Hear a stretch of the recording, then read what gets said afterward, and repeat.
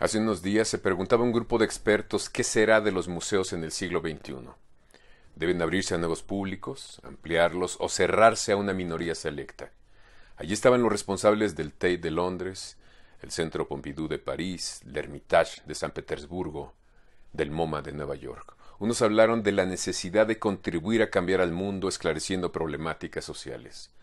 Otros llamaron a no tender hacia colecciones ideales que son imposibles. Otros más se preguntaron sobre la gratuidad o no del acceso al arte. Yo creo que cualesquiera que sean las respuestas que cada museo dé, deberán integrarse a sus exhibiciones de manera decidida las nuevas tecnologías de realidad aumentada, de mapping, de realidad virtual. La interacción que permiten con públicos de todos los estratos y todas las edades es sorprendente. Aunque es un negocio, el museo Trick Eye es una muestra clara de los beneficios que esas tecnologías posibilitan.